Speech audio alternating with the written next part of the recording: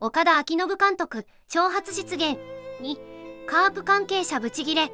1勝2敗でもええ。一つ勝てばええんやから、この方言に広島関係者がカチンとくるのも当然のことで、舐めるのもいい加減にしろよ。遠こり浸透だったのである。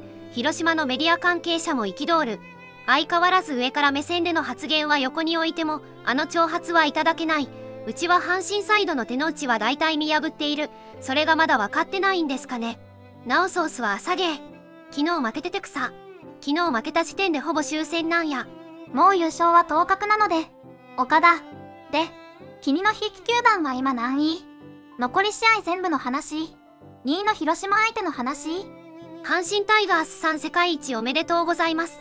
舐めてたら3立て宣言するだろう。選手時代、岡田のせいで、阪神では優勝できなかった新井。広島のメディアの方がよっぽど失礼なんだよな。むしろ警戒しとるからこその発言やないかこれ。変な記事やな。1章2敗でええとか普通の発言やし他にもっと舐めた発言あるやろ。